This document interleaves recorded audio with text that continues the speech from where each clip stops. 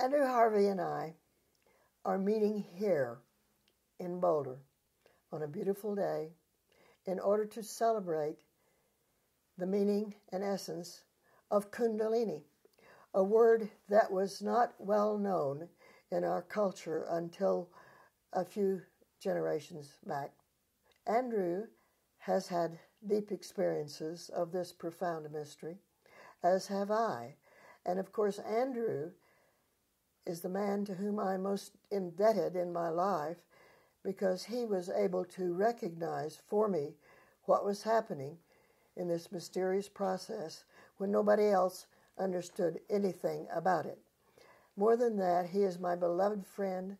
He changed my life forever. Without Andrew, I would not be sitting here uh, participating in this conversation. But we're going to have a conversation and since Kundalini is known to stimulate the creative flow, we're going to begin by each reading a couple of poems from our new books. Andrew's got his new book right in his hand. I'm thrilled that it's now published, and he's granted me the honor of receiving one of the first copies. It's called Turn Me to Gold 108 Poems of Kabir. I want to return your beautiful compliment to you because when I first met you, I realized you were that rarest of things, a real mystic, and that you'd been through an overwhelmingly beautiful and terrible experience, and that the poems that were being born from that experience were initiatory poems. And since that wonderful meeting so many years ago, you've gone on to pour out out of the depths of the experience of your Kundalini transformation, a whole river of truly amazing poems. You haven't just poured out these poems, you've also been working with people who have gone through profound Kundalini experiences because you know the terrain.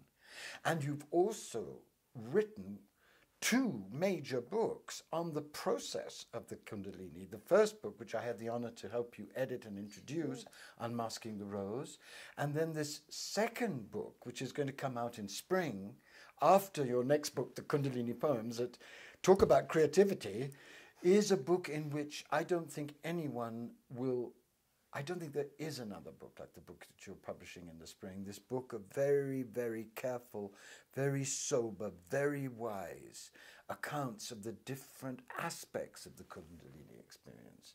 So I want to say to you that without your witness of this process, without the clarity and the sobriety that you brought to this most devastating and amazing of processes, I myself would not have been able to make any deeper progress in the Kundalini experience because I've relied so much on your love, your companionship, your deep understanding of the enterprise that I have, and also your formulations, which are so helpful. So it's an honor for me to sit here with you, and it is an especial honor to read out these poems by Kabir, these two poems, by someone who is a huge and everlasting beloved of both of our hearts, and someone whom we know went through the entire transfiguration experience. He was turned to gold mm.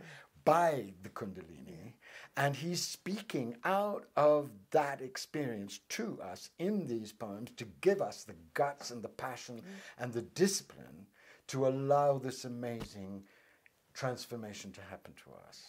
So here are two poems. The first one is about the ecstatic state that the Kundalini creates and about the transfiguration process that it activates.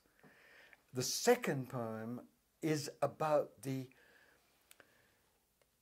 blissful, unified force field of direct perception of reality that the Kundalini graces her loving slaves with. Mm-hmm.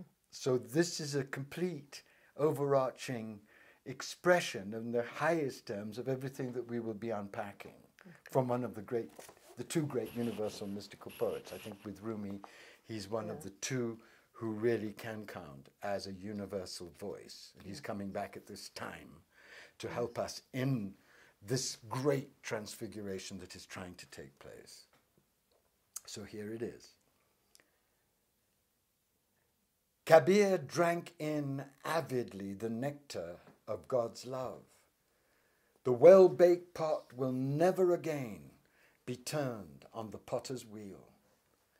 The wine of the beloved's love becomes more ravishing the more you drink it, but it is hard to buy, for the wine seller demands your head in exchange.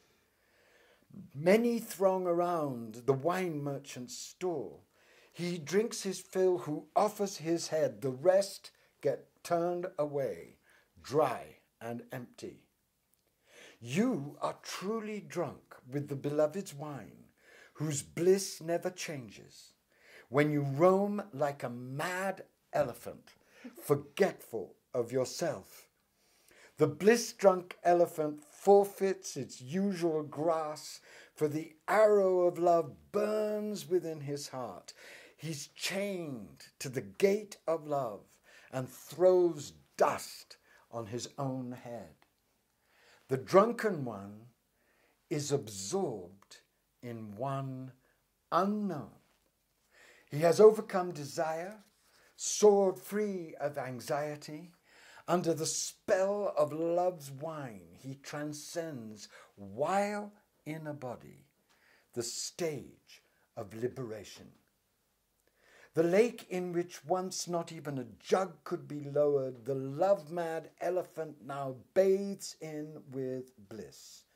The temple has drowned along with its spire, yet the birds go thirsty. Kabir exhausted many yogic alchemies, but found none like the Lord's love. If even one drop enters your body, your whole being turns to gold. If even one drop enters your body, your whole being turns to gold. No more precise description of the Kundalini, its effect, and its goal could be found. And this is why I've chosen the second poem because this poem, when I worked on it, reminded me so much of the poems that you've been writing because they come from the same mm-hmm. place. Mm-hmm. All the universal poets share this placeless place from which they speak, or rather are spoken through. Mm-hmm. And this poem is a poem of the unified force field of blissful perception that's born in heart, mind, soul, and body when the Kundalini truly begins to unify entire, entire in golden being. So this is for you, Dorothy. You.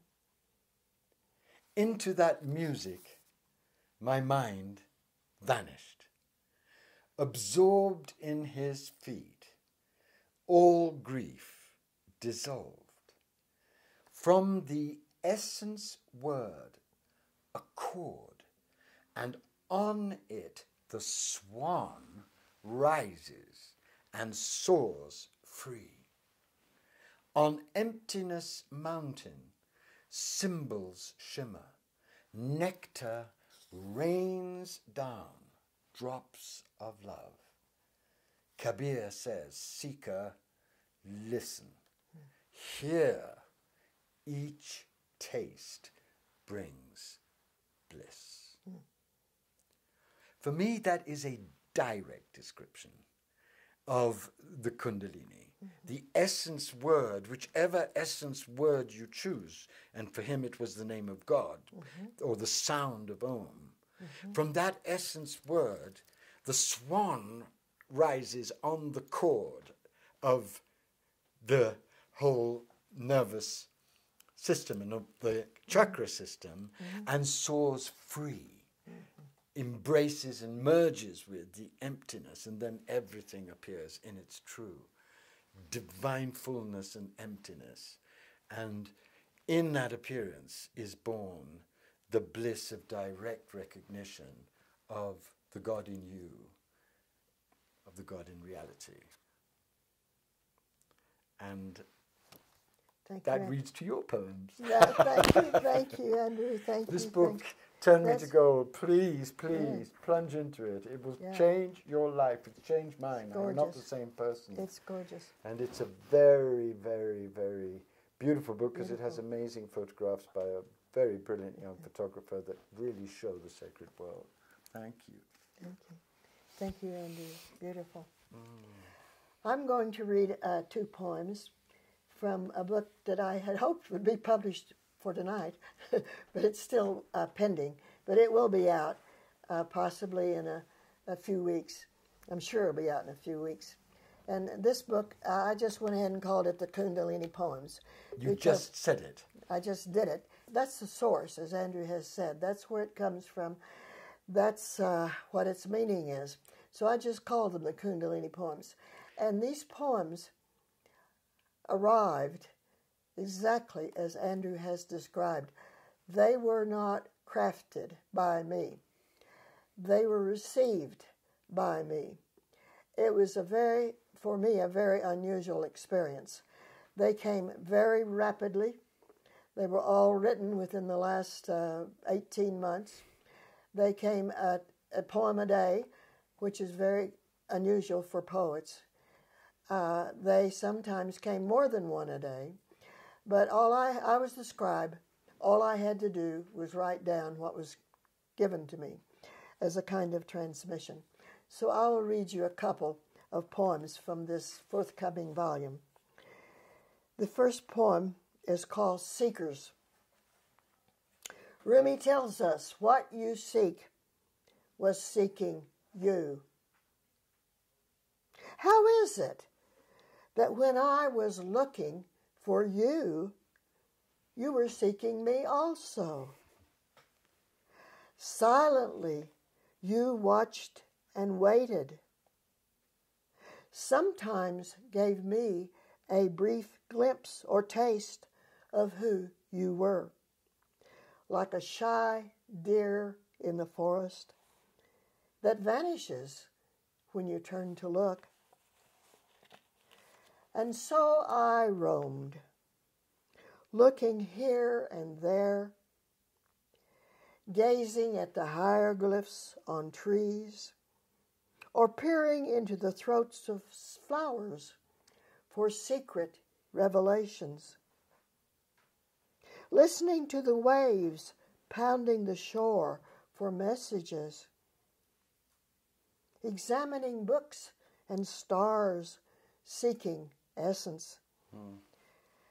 Finally, I gave up my searching, surrendered my deep desire to stillness, and then you gave me a kiss that lasted forever. Hmm. This poem is called Kundalini, the life force, because Kundalini is the life force. What you must know is this it will not come as a thought or a concept or an experiment in a laboratory. it will not be an extension of all that has already been proved by wise men in tomes and bound volumes for centuries before. It will happen within what you call your body. You will not know where your flesh ends, and a feeling comes that is both outside and inside. A realization arriving as an experience, a happening that you have no words to describe. Of course, you can try. You can speak of it as rapture, as ecstasy, as a flowing field of bliss. But once it happens, you will recognize it as that which unites all, and of which you are an indivisible part. Drop to ocean, cell to body, the nameless you to love.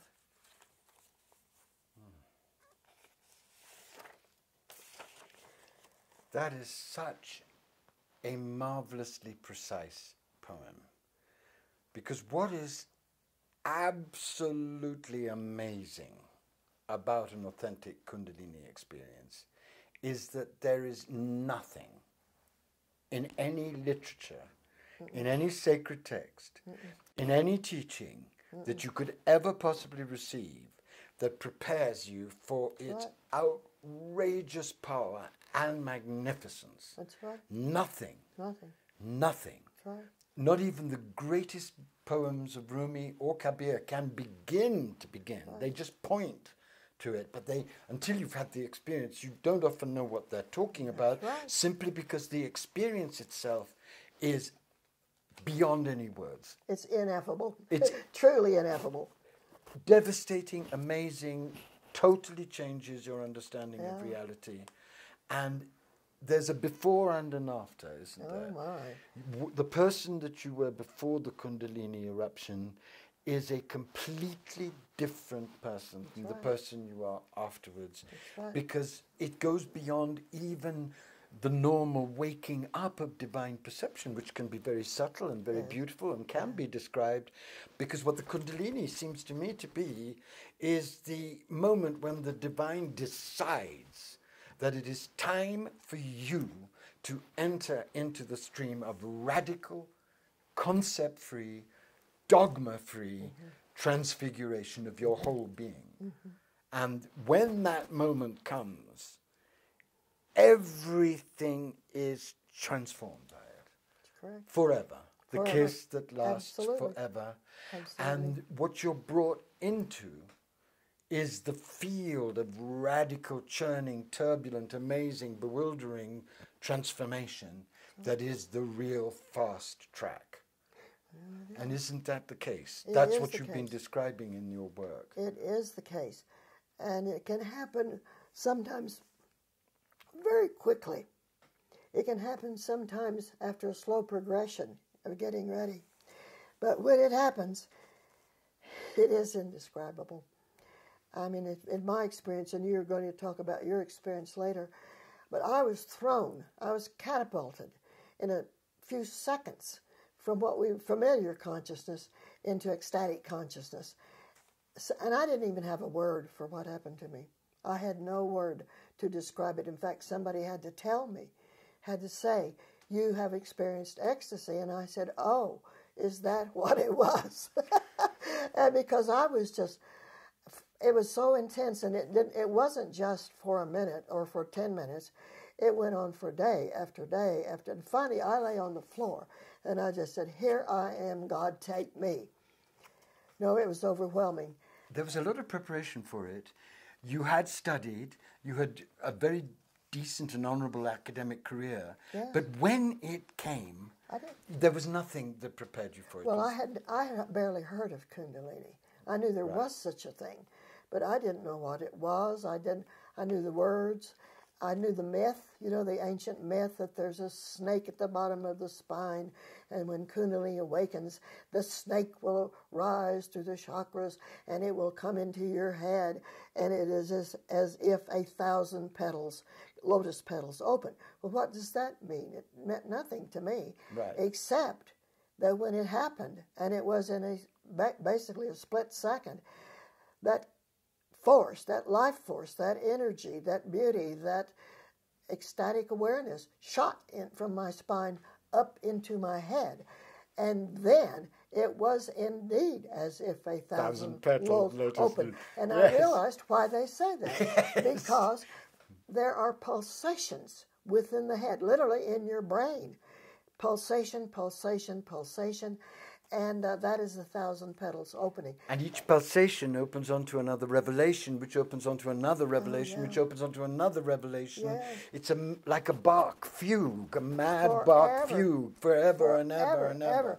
And the Kundalini itself is very creative because although this can go on for years, and it has for me in one form or another, um, it's always different. It plays, it's almost like it plays tricks on you. it can come, now, the general description has to do with coming up through the chakras one by one and preparing, and after many years, and excruciating.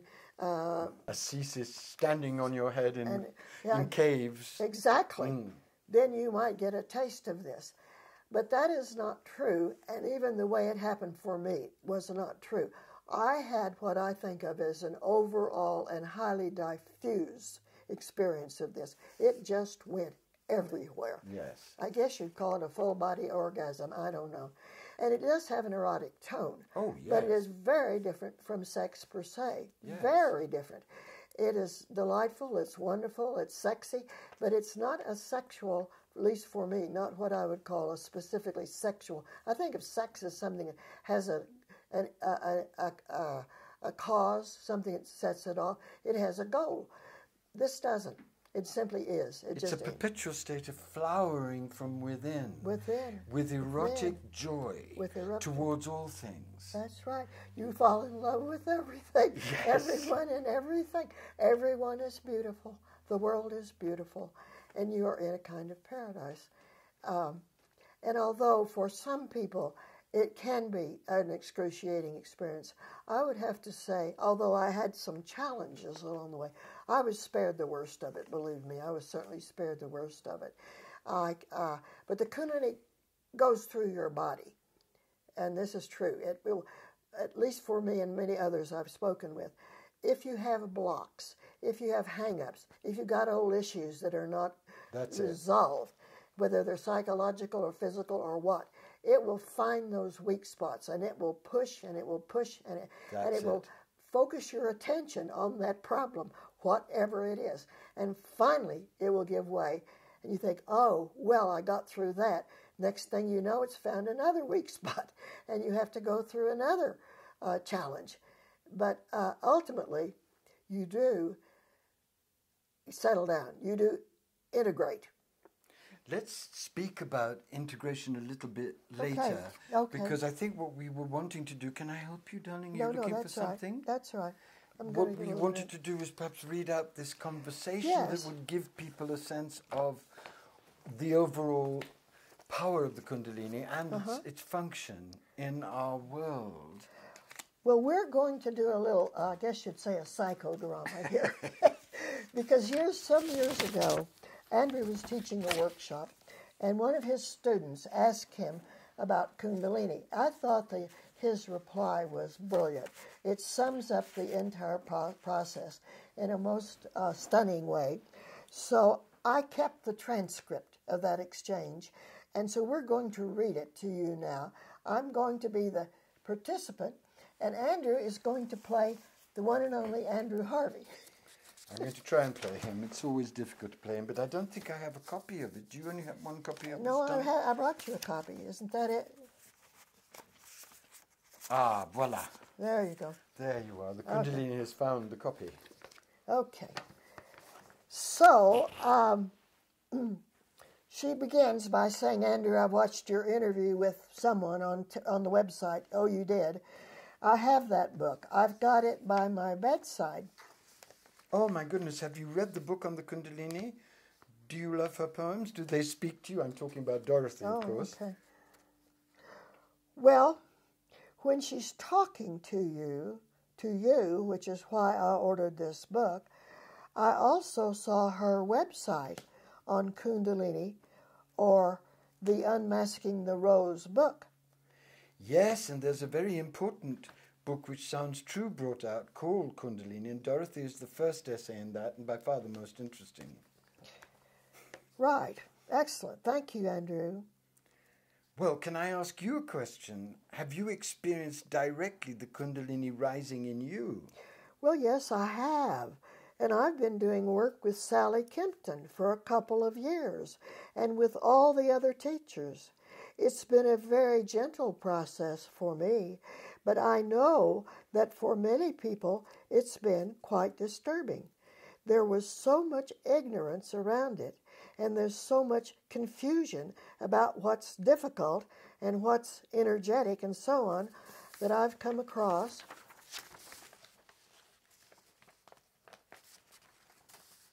There's no difference.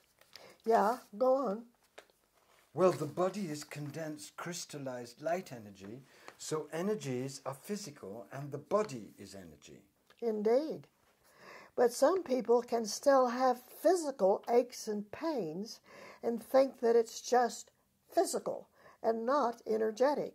And it might be coming from something they've eaten, food or something. Unlikely in the Kundalini process, because as Dorothy explains, the Kundalini seems to work with, it opens up wholly new realms, and then it ruthlessly goes to those blockages of energy which are results of karmic or traumatic experience. So there can be very, very deep traumas hidden in the psychosomatic spiritual body, which then it works on, and that, of course, can manifest as illness or deep suffering. Which raises the question as to whether one should have a teacher when something is happening, or can we trust our own personal connection with the divine to actually work through these things? Or should we rush off to someone like Sally or you because it's more about. Well, I think there is an intermediary path. I don't think of myself as a guru. I hope I'm a friend, and I don't believe in the guru system. I think what you need for the evolutionary path is a sincere, passionate, knowledgeable practitioner who is also humble, who is also aware of what he or she doesn't know and can't know, and who models how to learn and keep learning. If you can find someone like that and you could go to Dorothy directly, Dorothy's available for consultation. This is what she's doing in her 89th year. She's talking to people, she's sharing, she's loving, but she's not doing so as Madame Kundalini. She's doing so as a loving, tender friend, and I feel that is the most wonderful kind of companion for the journey. A wise, practiced friend, mentor who never lords it over you, but always is willing to share what they know and is deeply compassionate about your journey and holds that journey in deep reverence and respect. She, but she might be busy. She'd be thrilled to talk to you. Give her a ring.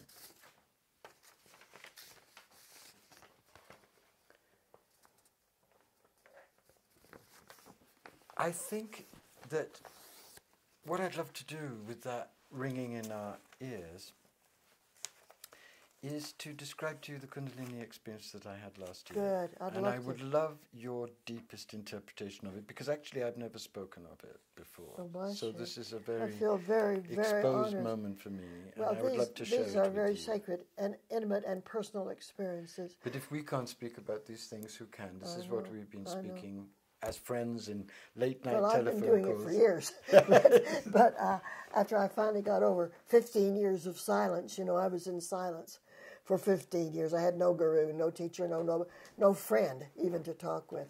So, but that was many years back, and since then I've learned to speak. So, Andrew, I'm honored and Well, darling, breathless. you know, we've spoken about the Kundalini many times, and I had a very dramatic initial touch in my 20s, mm-hmm. and then, of course, a series of visionary experiences Yeah. In the intervening decades, Yeah. which I knew had been activated by that initial Ah. Kundalini experience.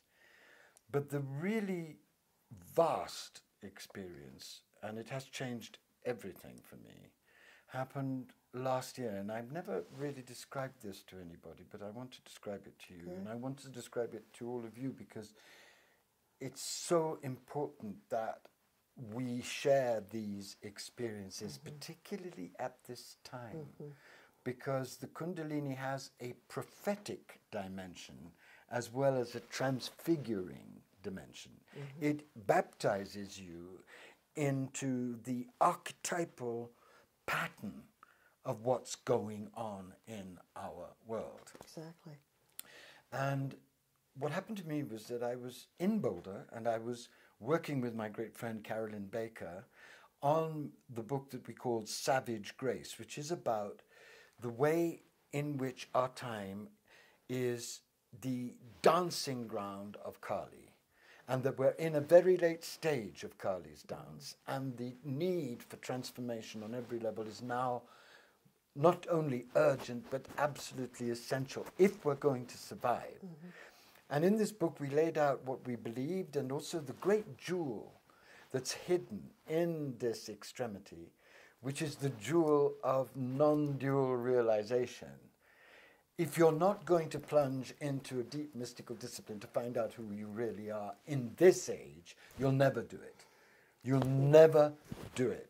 The great gift of such an extreme crisis is that it bitch slaps you awake and makes you aware that the only security you could ever possibly have is in the depth of your own knowledge of your deathlessness and the truth of the self. That is the only security, and that's the only place from which you can go on pouring yourself out, even when you know that the chances of anyone listening really or doing anything are slim. so that is the place which all beings who are awake need to get to and then gamble their lives away for God and trust in miracle. Okay. That was the book and it was a very I'm very proud of the book. And Carolyn did an amazing job in writing it with me. But after finishing it, I really was worried that I had gone too far and that I'd been too ferocious in the book and that we'd been excessively fierce about the situation. And I really prayed to the mother to show me the truth, to tell me whether I was really aligned instead of reacting to my own suffering. And that night she said a, an overwhelming yes, which is the only time that I've ever felt her intervene to say, what you have said and written is real, and people really need to get aligned with it. And it was huge.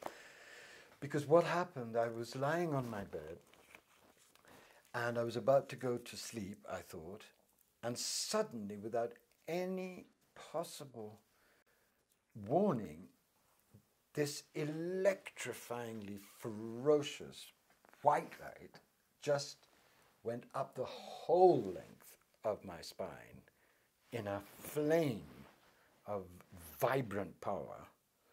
I was ecstatic, and then I was shown images of the mother, including my ex teacher, and I said no to all of them because I knew she was doing it. I said, I want you in my heart.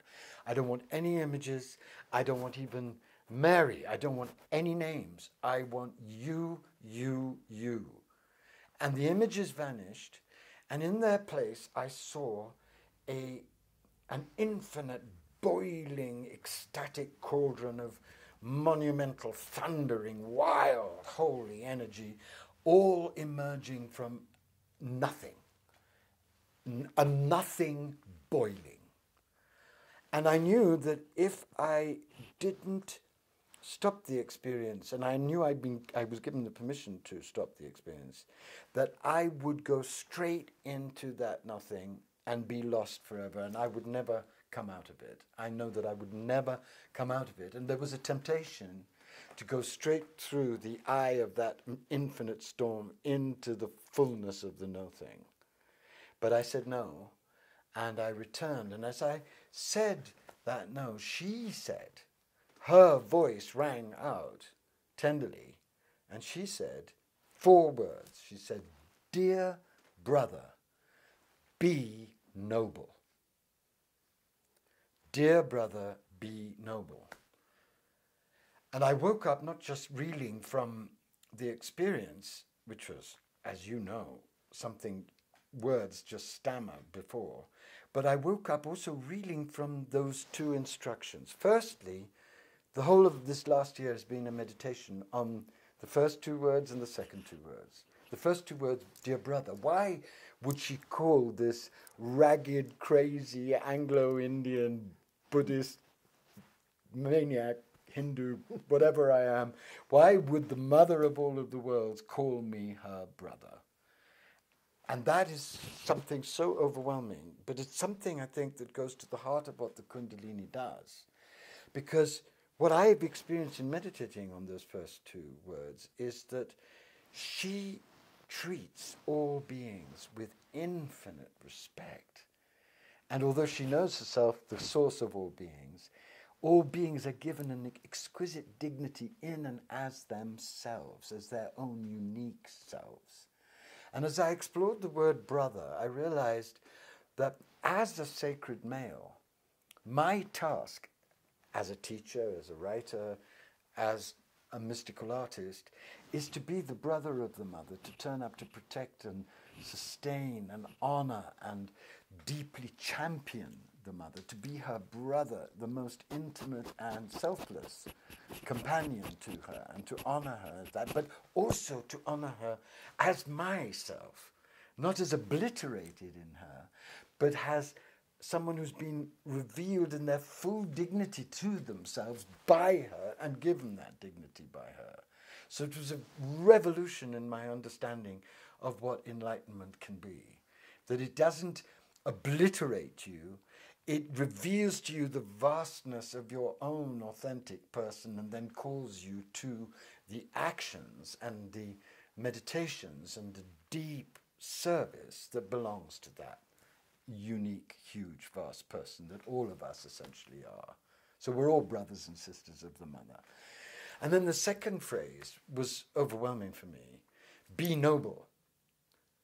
And what does the word noble mean? It's not a word that I love the word noble, it's the essence of everything that I truly believe in. My father loved that word. I come from a family that loved that word, a military family, a family that was deeply passionate about honor.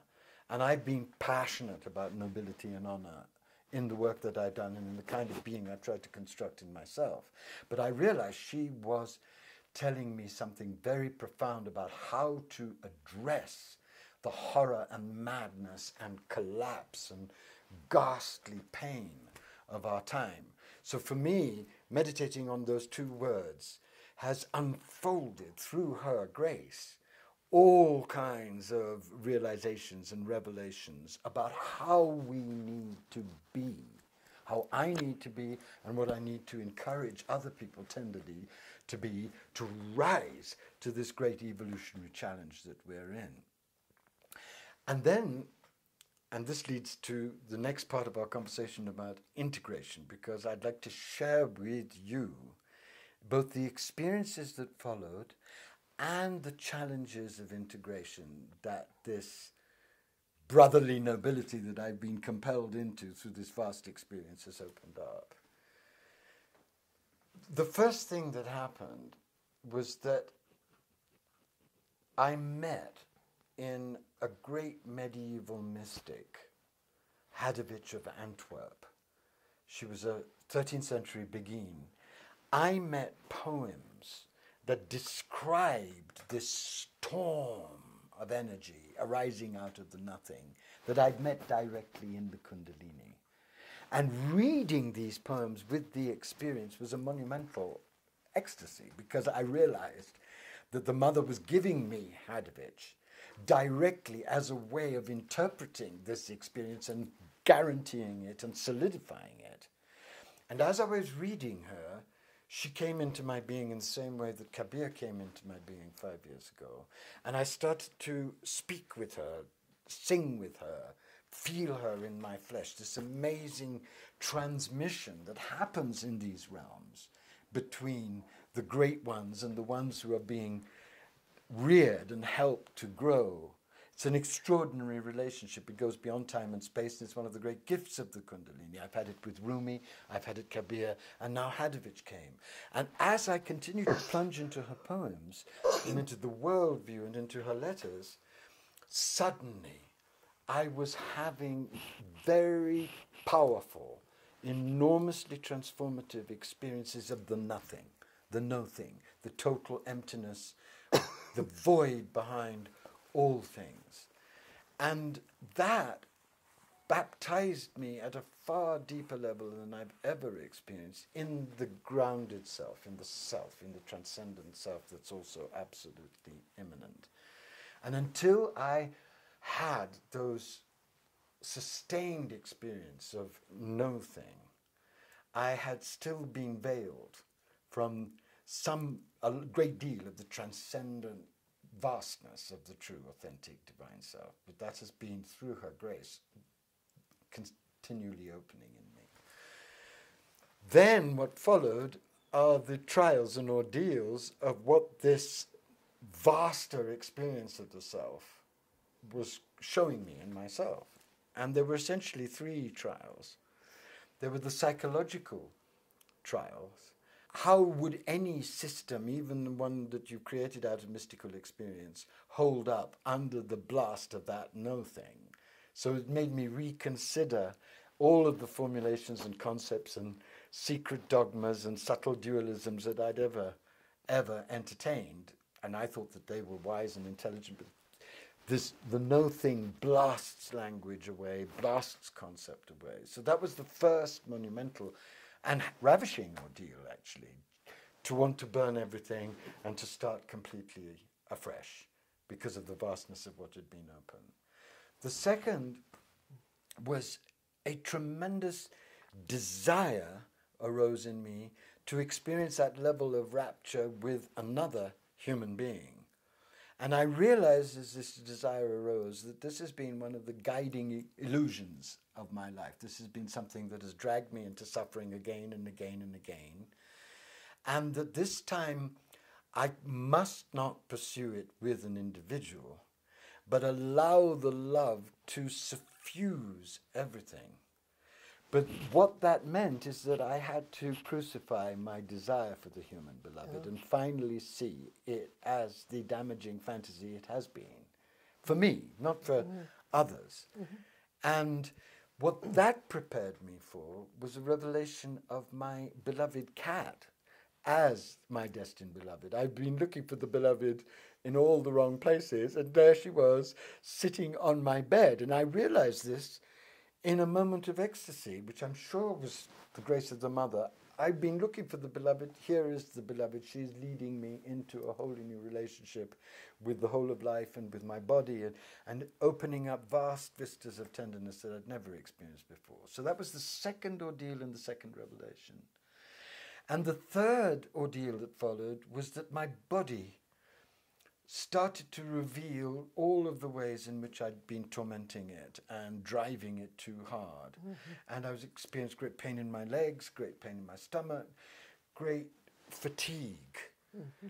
And instead of being intimidated by that, I realized that what she was saying to me is that you cannot possibly go on doing what you've been doing in the way that you've been doing. You've had to do it that way. You've had to pour yourself out with the whole of mm-hmm. yourself because you were, that was the mission then. But the mission now is to live the kind of subtle, receptive life that will allow this to become settled and much more resplendent in me than it is at the moment. So I just wanted to offer that experience and the, those three levels of ordeal and ask you for what, what you feel when you hear that. Well, I feel that I'm very, very, very honored, Andrew. This is a most profound experience, and indeed, it is. It takes a bit of effort to share it publicly. Uh, yes. Uh, many people c- cannot bear to t- even to tell their best friend what is going on, but I agree wholly with what you said. This is the time when we must speak. I have another friend who said, at this time in history, we must be teachers to one another. Exactly. How do we do that? By sharing our experience. Everyone is unique. Everyone has a different experience. Absolutely. Yours is unique. I've never heard anything exactly like what you have described. But It's wonderful. It's beautiful. Um, Doesn't she work with unique attention to the unique needs and the unique Yeah. actions and missions of each unique being? exactly. It doesn't have a It- formula or a No, concept. there is no formula. There is no set pattern. It doesn't follow this, this, this. It doesn't go from the root chakra to the next chakra to the next. No. No, it's it it does as it will with you, and uh, it's it's quite wonderful. It's marvelous, and I loved what you said about not seeking to have this love focused entirely on another human being, and I think that that's a very wise perception that you've come to. For me, uh, it happened in a different way. I was like you, I was looking for this uh, kind of connection with another human being. Well, after I got my heart broken over and over and over, I know this experience. you know about that. And finally, I decided, no, that's not the way. I'm not going to do this anymore. Fortunately, I have reached the age where these concerns are no longer very. But it, it goes very deep, what you're saying, because once the Kundalini has done her amazing work, Uh-huh. she has announced that the beloved lives within. the beloved within. That's Yes. that's my beloved. Yes. I call her the beloved within. Yes. And to me, every visitation that we have of rapture or love or ecstasy or whatever or insight, whatever it is, that's the beloved within. Yes. And there is a beloved within. Of course. And and uh, what I feel is that we, of, co- of course, are too small. We could never, ever in a million years begin to grasp the whole of the source, the reality of oh, God. We Not- would die at the first we glimpse of it. We it's so die. vast and powerful. yeah, Yes. it's sort of like it's been for our benefit stepped down enough Oh, yes. that we experience this sweet, beautiful, indescribable ecstasy. But that's the connection. I think in those moments we are connected to the divine source. We are We're a light all- drop of this infinite ocean of Exactly. pulsing light. That's right. Made of the same substance. But- but- tiny, tiny, but tiny, tiny but everything at the same time. Nothing and everything. That's right. But we can only be the everything if we truly experience the nothing. Well, I think that's true. And that's what is being opened up by the Kundalini, this Mm-hmm. immense paradox. It's a great paradox because what I experienced in the moment of awakening, and I know that others have, I've read about this, others too, is that basically we are nothing. We are nothing. We do not exist. We are a fantasy that we created to tell ourselves. But ultimately, the only thing that's real is this vast, indescribable uh, energy. This source. energy is what's real.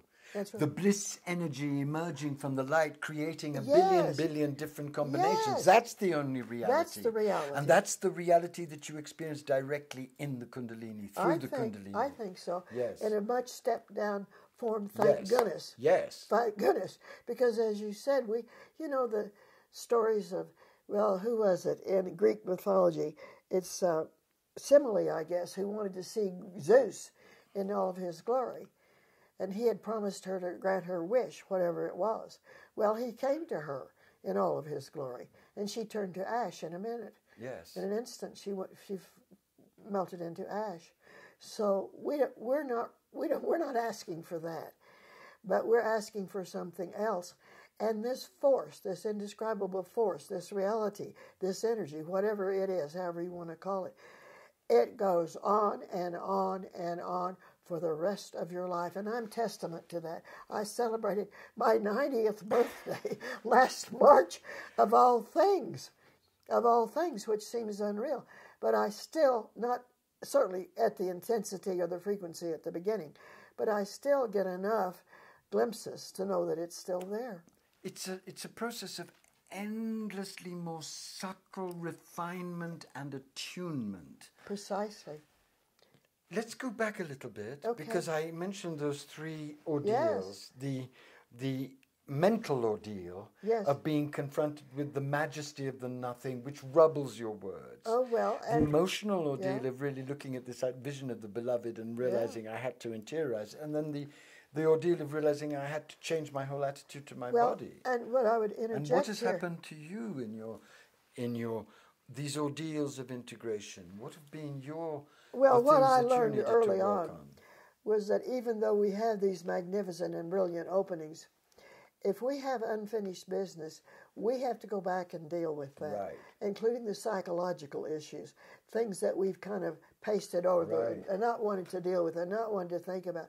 But it will suddenly be right in your face, and you will face it, and you will relive it, and you will learn what the essence, what the lesson is. There's a lesson for you, and you will learn what that is. And I did. I went right to the bottom of mine, and I realized for the first time why I'd been happy, unhappy all of my childhood, you know, because it's very simple.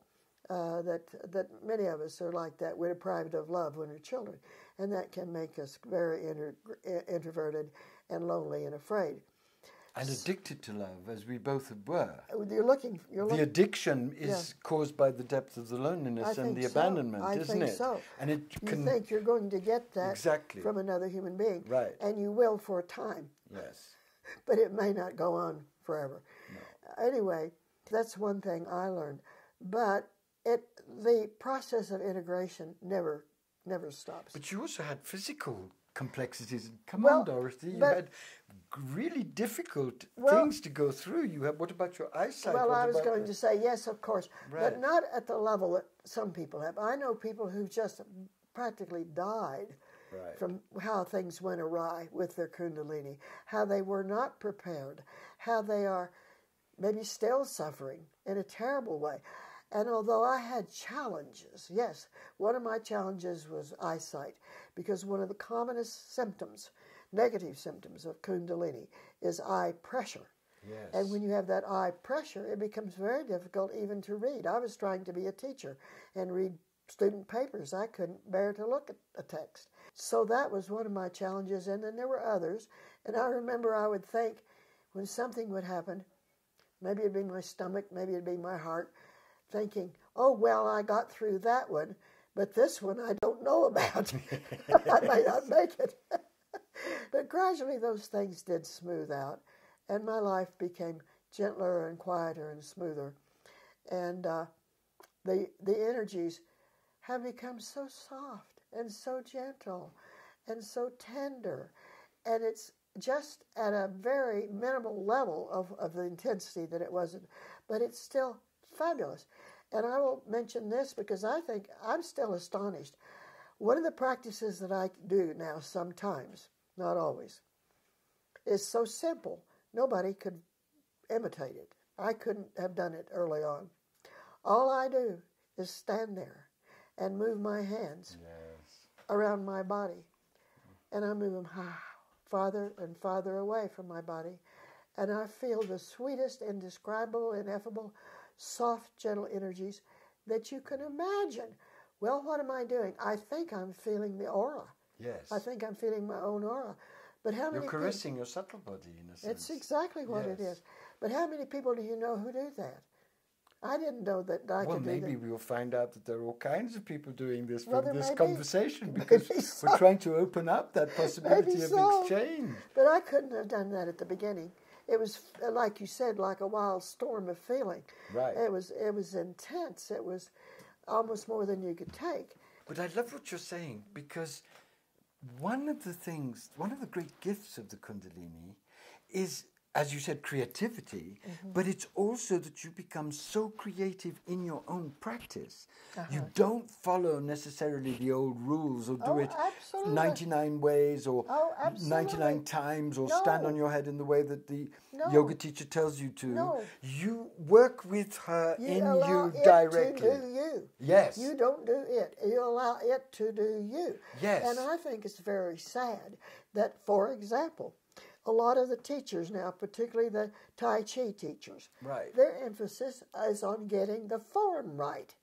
You have to do it this way, you have to do it that way to get the form right. They don't seem to know anything about the inner reactions or the inner life that's going on.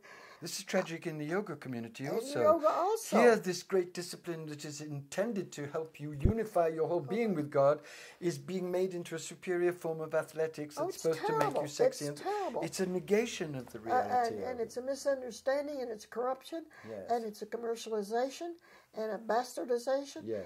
and people and they just don't even know what, what they're talking about but my question is particularly with qigong and, and yoga who taught the first teachers where did they learn these forms They learned it actually from the animals and the the- trees, from nature. well i That think, is what I believe. well that's one thing and it's possible but That's I why think, yoga has so many animal poses. That's true.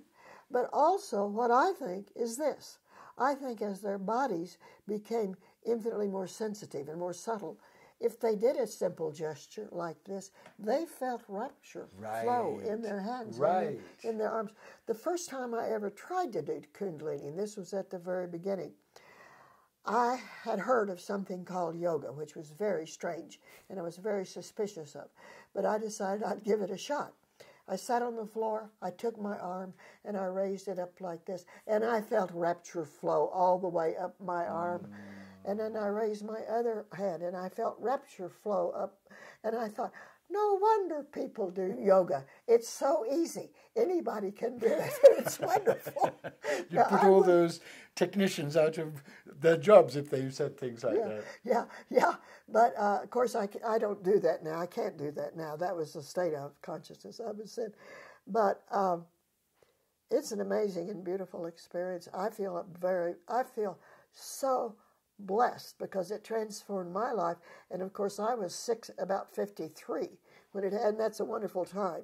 That's when you begin to just simply repeat whatever you've done before and think the same thoughts and.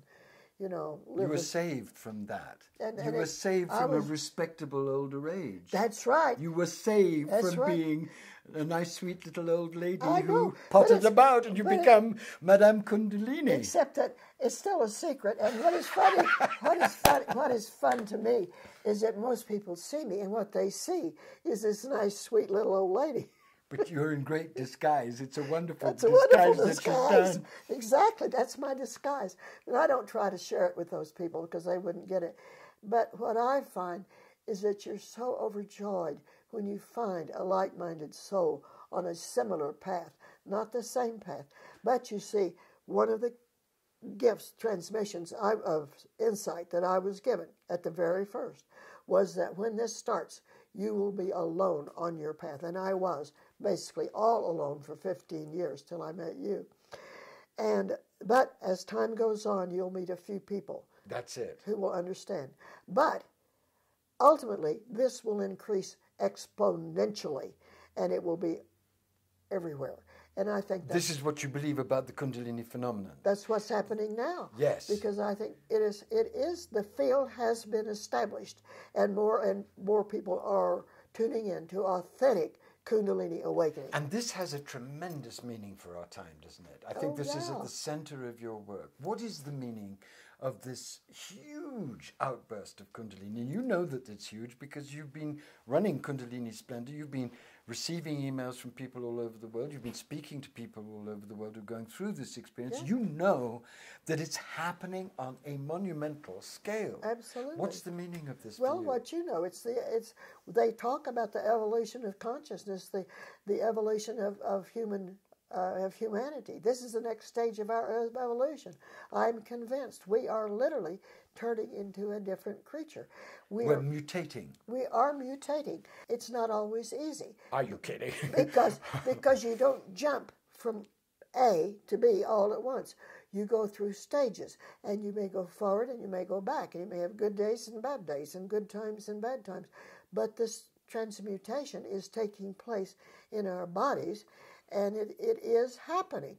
And I like to say, it makes one thing infinitely more sensitive in all kinds of ways. Absolutely. And I sometimes say, I have done this practice so long and gone through all these changes, and I've achieved the state where I can no longer function as a human in this world. But that's not true. You function very, well, very I- clearly. you have to what- learn to walk in the two worlds. Oh, yes. You have to be in the quote what they call the real world, which of course is the unreal world, and then also keep your connection to this other spiritual, invisible, the invisible world. You know, Rumi talks about how there is a world inside the world. Well, I wouldn't call this world unreal. I think what it is is a manifestation, an epiphany. No, I'm of- talking about ordinary life. Yes. Oh, day yes. to day oh, life. Oh, yes. That life, you know. But what do you think is the is really going on? Let me let me Yeah, propose something why don't you. you? Why don't you speak? I feel that the crisis that we're in is the birth canal potentially of a new embodied divine humanity. Absolutely. All the old structures are being destroyed, Right. including the old structures of how you become enlightened and what enlightenment oh, yeah. is. Oh, yeah. What she's trying to show us is mm. that we need to be connected with the primordial mother energy that creates everything. That's right. And that's the basis of the evolution of the new. Yeah. What she's also showing us is that it isn't in some transcendent going off into the light that this experience becomes most potent. It mm. becomes most potent when the plug of our whole being is put into the socket of her naked electricity. Well put. Because what that does is start the embodiment process at a much deeper level of oh, truth and intensity. Oh, yeah. And this embodiment process is something that the patriarchal mystical traditions have been very scared of Mm-hmm. because it means a sacralization of the body, a redemption of sexuality, a transformation of All our of dissociation into total reverence for every cell of our being. And Mm-hmm. this is a revolution. Oh, and yeah. I think that she's got so fed up with the old transmission systems and their fla fla fla and their endless pontification and their over precision, which hasn't resulted in a transformed humanity, mm. that she's decided let them go on talking, let them go on playing in the dust. What I'm going to do is I'm going to intervene directly and I'm going to give people what's- directly this happening. amazing initiation so that they can come into a naked, intimate relationship with me uniquely and be shaped into divine hooray, hooray, Does that make sense to you? Makes total sense. And what I, I think of, you know, in the Sri Yantra, you've got the interlocking uh, triangles. And what you've got going on now is two processes interlocked, but quite different. You've got on the outside, the structures are absolutely collapsing. Exactly. Exactly. They're crumbling and they're falling apart. But on the inside, there is a rebirth and a rebuilding. It's all going on at the same time. It's amazing how The, this. the disaster is happening and the birth is happening at the same time. But the birth is an embodied birth. That's It's the birth of the divine in the human, in the cells of the body, in everything. and what a shock it was to find that out. Well, especially if you were a scholar of all the ancient mystical traditions in which hardly any talk of the body wasn't Well, try- repressive Well, and try, take- agonized. try going to graduate school in English. There was nobody. It was never discussed. Right. It didn't exist. I said, as I, I had a wonderful experience uh, studying the great wisdom tradition of the West. But basically, I was living from here up Right. in my head. And it was a shock to get into my body and realize, oh, this is what they mean when they talk about unconditional love or, or whatever. You know, it was a shock.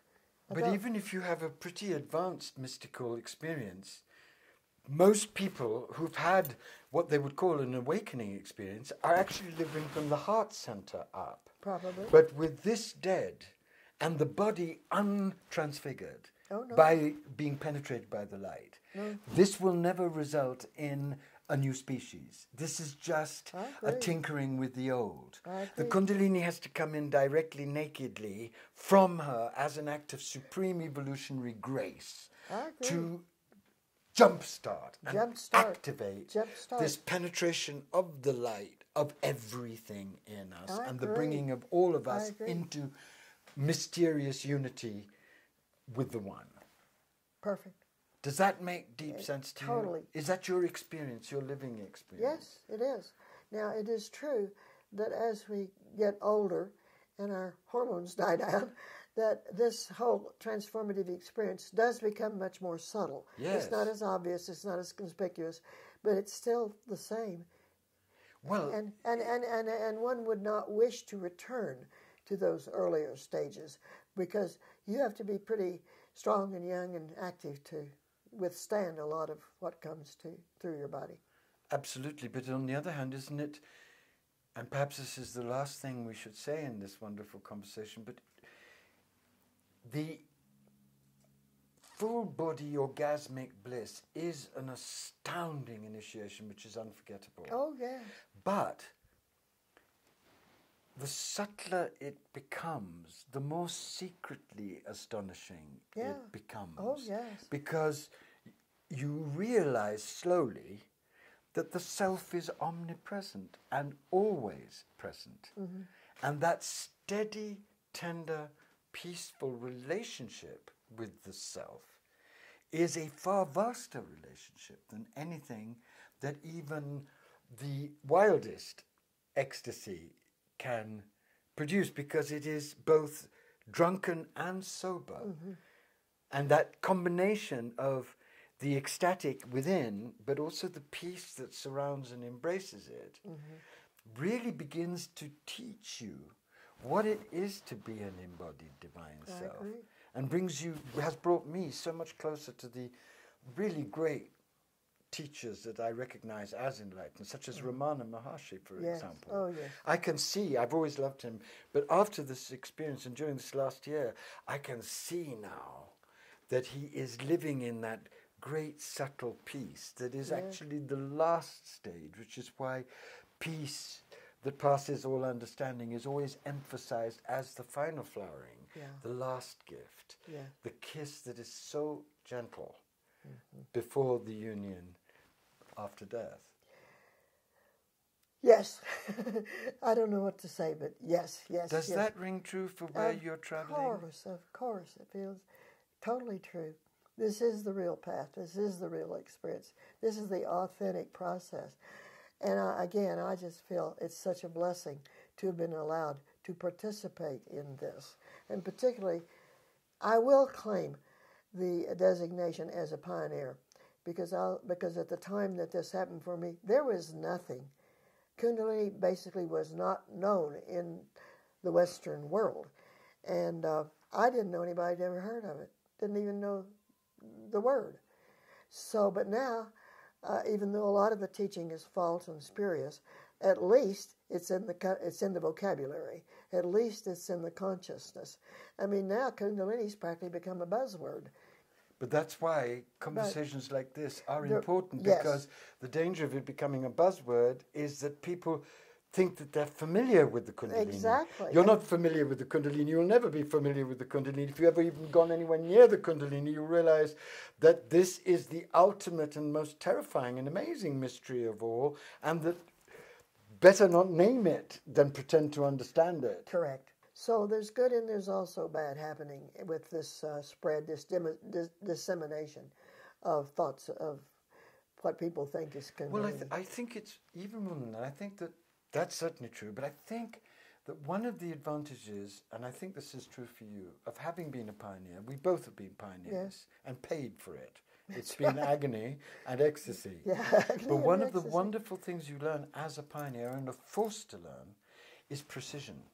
Because you don't have anyone to rely on. That's right. You have the light to rely on, you have your inmost experience to rely on, and you have the testimony of the great pioneers of the past. Mm-hmm. So you have to make clear each step as far as you can through grace for yourself. And that gives a tremendous understanding over time of the different stages and the ways in which they work, which then allows you to help other people. Yeah. And you come to understand just how essential it is to keep receptive, to keep tenderly disciplined, to keep inspired, do. to keep constantly turning up. And that is what enables you and I at this stage of our lives to turn to the people who are experiencing this and says, it is amazing, but these are the kinds of difficulties, these are the kinds of challenges, and this is what you're going to need for your journey. That's true. It can't be done any other way. Can Oh, it? I know. I agree. I agree. But you know, we have so many people still who have these uh, uh, transformative experiences that are very disconcerting to them. And I still hear from people who say, I have no one to talk to. I can't tell my, uh, my family, I can't tell my friends, they would think I'm crazy. Tell me, am I crazy? And one of my functions is simply to say, no, you're not crazy. You're going through your evolution of yourself, of your consciousness. You are not crazy because this is happening all over. I'm sure you're familiar with R- Rupert Sheldrake's work on the, establishing the field, which makes a whole lot more sense now uh, in terms of Kundalini than it might have all those many years ago. But I think he's right. You establish the field, and then it becomes much easier for others to participate, and I hope easier for them to go through the process. I, I don't know about that. It may still be just as hard as it ever was. But they'll have companions. But at least it, they're not alone. Exactly. They're not alone. You are not alone. And and you know, when I had my experience, there was no internet. There were two or three books, and I could name them. That's about all I had. I had Gopi Krishna, I had The Serpent Power, and I had a book by Lee Sannella, which, in which he'd collected some stories of Kundalini Awakening. That was just about all there was. There was no internet. When the internet came along, a friend of mine who was sort of an advanced technician was playing with it and said, What do you want me to put in? I said, Put in the word Kundalini. He did, and there were four references. You put in that word now, and there are thousands of references. Thousands. I, it's bewildering. I don't know how people would ever choose. I think it's more confusing than anything, but it's it's all over the place in some form or another. So, darling, in these last moments, just bless everybody who's listening and open your heart and give some last words to people to encourage them on this great well, evolutionary journey that we're all on at this moment. So painful and so amazing and okay. so necessary. Well, my blessing to people would be don't be afraid of this process. It is part of the natural pro- progression. It is being scripted elsewhere. You don't have to make it up. It's being done mm. to and for you and all of us. And my total vision is of worldwide initiation. I think planetary initiation. I sounds impossible, but wasn't it impossible that a woman, an English teacher in Wichita, Kansas, would have this massive awakening out of the blue? You know, if that can happen, I say anything can happen. We don't know. There's a wild card. There's often a wild card, something we hadn't expected or predicted but that can happen. And welcome to the process. But we are a club of brothers and sisters, and we can help each other along the way. That's so. Bless you all. Bless you all. I love you. Love is the key. Love is the answer, and love is the reality of it all. You know that very simple saying, "God is love." That's true. That's all you need. So you you say a blessing. Yeah. That's it. That's enough.